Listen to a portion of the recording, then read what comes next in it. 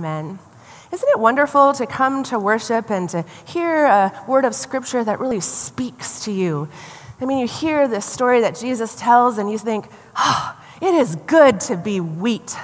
You know, it's wonderful to just be, you know, waving in the sun and filled with all that goodness, that weediness that we are. oh, because the world is full of weeds. A temptation, isn't it? To hear this reading and to right away put yourself in the category of the wheat and feel pretty, pretty self righteous about that. And if we're honest, maybe we even go a little further to want to mention or point out who we think the weeds are around us. Now, maybe you've heard it said that when you point a finger, remember there are three fingers pointing back at you. In fact, Jesus used this same good judgment when it came to his teaching last week. In the Gospel of Matthew, Jesus says, Don't be so quick to take that speck of dust out of your brother's eye or to point that speck of dust out in your brother's eye when you haven't taken a good look at the log in your own. Sometimes it would do us well to hold a mirror to our own behavior before accusing someone of behavior we are also guilty of. So, Jesus gives us today this parable of the wheat and the weeds, a parable that reminds us that we can't choose our neighbors and that wheat and weeds grow up alongside one another. Now, wouldn't it be nice if there was some action taken right away so those weeds could just help that wheat to flourish, just be plucked away? But in the parable, Jesus uses caution there, for it could be that in the plucking away of the weeds, some good wheat is taken as well. So let it be, Jesus says. Let that continue to grow side by side. You don't have to be much of a gardener to know that weeds are troublesome. You want to get rid of them, and you work very hard to get them out of your beautiful flower garden uh, or your uh, vegetable garden. And it seems as soon as you pull one, another one appears. Ah, those weeds. Well, it's hard for us to imagine as we have a blanket of snow covering the ground right now, but we hold on to hope that spring will be here soon. Every day we're a step closer to warmer air to green, lush lawns. And with that comes lovely flowers of spring. And usually, the first flower that pops out of the grass is the lovely dandelion. Yes, the dandelion is quite lovely when it first appears with its beautiful yellow crown. Uh, but for many people, the dandelion is not a wanted uh, particular flower in their yard. I have a very, very, very close friend. We'll call her Jan Lynette. And Jan Lynette uh, is not much of a, a, stickler when it comes to her yard. Uh, Jan Lynette is certainly willing to mow and keep her yard looking in good order, but in terms of competing with the Joneses, Jan Lynette really doesn't care that much. In fact, um, you know, dandelions here or there, no big deal. Jan Lynette doesn't spend a great deal of money on a lawn care service. Jan Lynette rarely fertilizes the lawn, um, but you know, kind of keeps it up. It's, it's fine.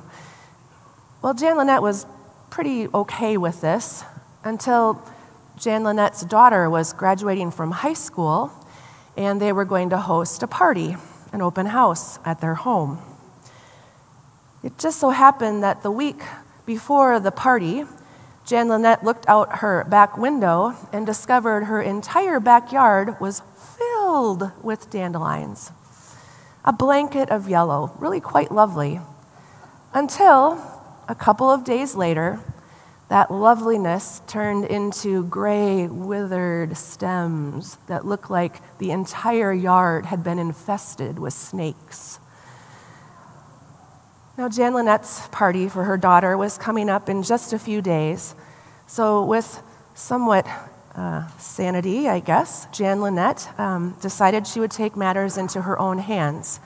And with a bucket and a scissors, Jan Lynette planted herself in the yard and clipped off every single one of those dandelions in the yard, putting them in the bucket and throwing them away. Now, you may think, what is wrong with Jan Lynette? Why would she spend two days in her yard, people walking by waving at her as she's clipping away all of these dandelions? Because nobody wants to see your weeds. because nobody wants to have weeds that are seen. Because weeds grow up whether we want them or not, and they appear alongside of us. Sometimes we want to take efforts to get rid of them, and sometimes they just keep growing. Sometimes we have control over them, and sometimes we just don't. We've lost all control. Maybe you have not sat in a yard clipping off dandelions, but perhaps you have gone to some great effort to let the weedy part of yourself be covered up or tucked away because you don't want others to see it. Maybe in some ways you have spent a great amount of energy covering up that weedy part of your life because you'd like to appear, at least for a little while, maybe even just for a party, like you have everything all together and perfect. Jesus tells us this parable of the wheat and the weeds to show the extremes to which sometimes we find ourselves when it comes to good and evil. And that good and evil, just like weediness in our lives, will always be in tension. And that good and evil, those two categories, are so distant that we are so quick to want to put others in one category or another. How we look at our world today, our politics today, and see that kind of division. How quickly we want to point fingers at one or the other as good or evil. So, what do we do with this reality check, this story that Jesus gives to us? Well, the disciples wanted to know as well. And so they asked Jesus, Tell us, Jesus they said, uh, what is the meaning? Explain to us the parable of the weeds. Now, Jesus must have shook his head and thought, there it is, right there. It's not the parable of the weeds, it's the parable of the wheat and the weeds. See, you already put yourself in the category of the weeds, disciples. Because you see, when it comes to deciding who's in and who's out, who are weeds and who are wheat, that is not for you to decide, Jesus says. That decision will come at the end of the age with my angels returning, and, and there will be judgment, but that is not for you to judge. That is for God to determine. So instead of spending your energy on finding out who are the weeds or pointing them out, why Jesus gives them an alternative. Jesus says, Remember the mustard seed? Remember the story I just told you about yeast? That little mustard seed, left to itself, won't do a whole lot, but planted in the ground and nurtured and allowed to grow, why, it becomes a great, great tree, providing shelter for the birds of the air. And that, that little bit of yeast with some flour and water and warmth, why, that can create a loaf of bread that can feed many. If you have ears, listen, Jesus says. This is where you can focus your energy. For you have been given this little seed of faith, this little possibility, this yeast that can have the potential to feed and to nourish others. Perhaps listening to that truth rather than all the energy on judgment might serve the kingdom better because, in fact, God doesn't give up on wheat. And God doesn't give up on weeds either. The state of Minnesota this past spring actually announced a program and funding that would encourage residents of Minnesota, homeowners, to let their lawns go to the bees. Did you hear about this? It's a program where homeowners can actually be uh, funded to plant wildflowers and various grasses in their lawn so that the bees have opportunity to pollinate more in natural habitat. Now, it's a wonderful idea to actually pay someone to put dandelions in their lawn. The idea is that there are 50 species of bees that have found it difficult to pollinate when we have such pristine lawns that have no more flowers or naturally growing flowers in them. So that this species of 350 that we host in Minnesota might flourish as well.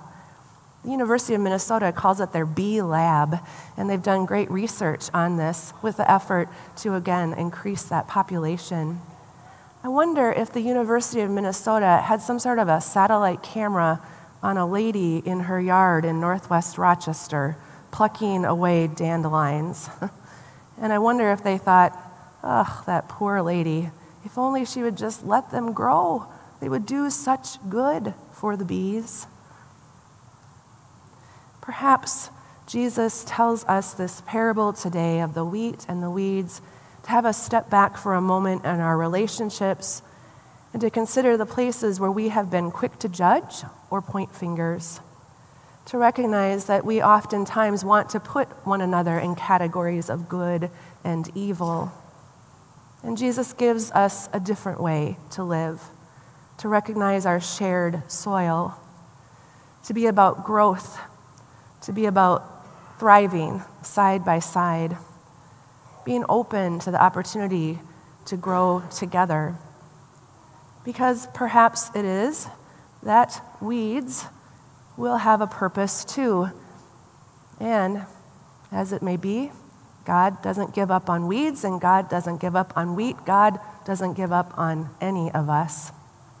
And in fact, it, it appears that dandelions serve a purpose too. Amen.